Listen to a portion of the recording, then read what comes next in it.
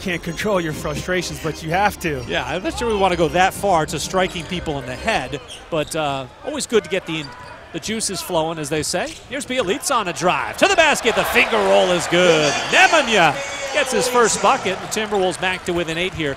Dribble fires a three. It's going to come up short, but Wiggins tracks down the offensive rebound. And then Wiggins gets it knocked away by Morrow, but ends up in the hands of Bjelica. Down low in the block, he spins. Up fakes a three.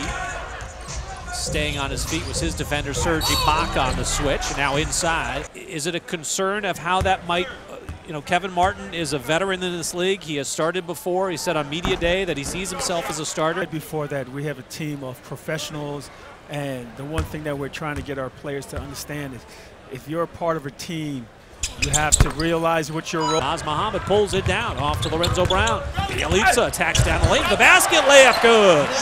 Nemanja. I wouldn't put it past him. The guy is just a pit bull when he's on the floor. Here's Bjelica showing some range, straight in the triple. Here. Westbrook is incredible. He really is. I don't think there's a player like him in the NBA or that I've seen that just the intensity, the ferociousness with which he plays. With a nice pass inside. LaVine missed the